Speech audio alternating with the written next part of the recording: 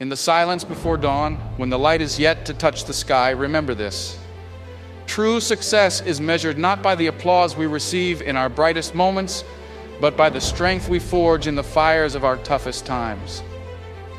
Mature success, the kind that lasts, doesn't solely ride on momentary inspiration, it's built on the bedrock of discipline, the routine steps we take each day that carve the path to achievement. Think about your daily habits, the quiet rituals of determination. Do they propel you forward or do they chain you to the ground? If they don't serve you, have the courage to demand change. Fear not the judgment of failure, for the only true failure is inaction, the refusal to try.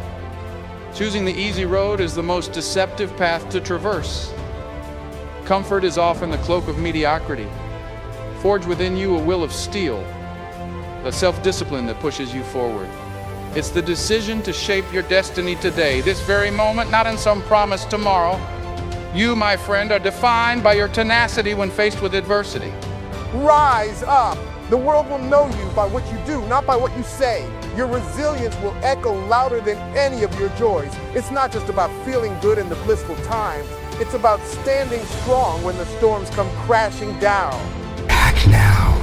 The road ahead will test you, push you to your limits. It will yell in your face, asking if you've got what it takes. Answer it with your sweat, your discipline, your heart. Let your habits be the hammer that shapes your future. And if they're weak, strike them till they're forged in iron.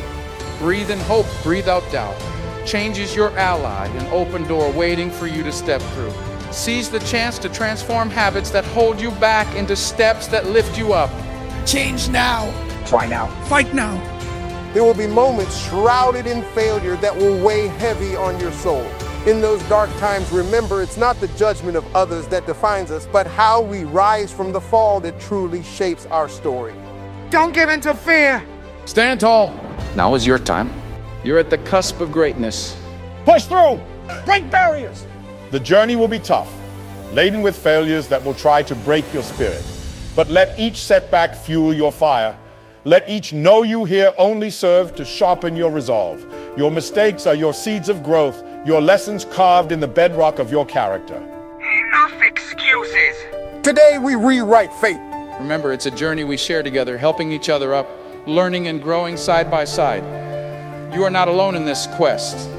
Step forward with the community of those who dare to act, to fight, to succeed.